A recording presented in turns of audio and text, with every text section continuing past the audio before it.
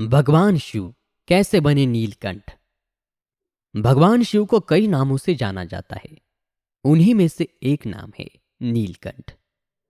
भगवान शिव के हर नाम के पीछे एक कहानी छुपी है और उसी तरह नीलकंठ नाम से भी एक कहानी जुड़ी है। एक बार की बात है, देवता और राक्षस समुद्र से अमृत निकालने के लिए समुद्र मंथन कर रहे थे। लेकिन अमृत के साथ साथ समुद्र से विष, यानी जहर भी निकला। यह जहर इतना खतरनाक था कि उसकी एक बूंद पूरी दुनिया को खत्म कर सकती थी। अब देवता और राक्षस दोनों ही डर गए कि अब किया क्या जाए। फिर वो भगवान शिव के पास गए। उन्होंने भगवान शिव को सारी बात बताई।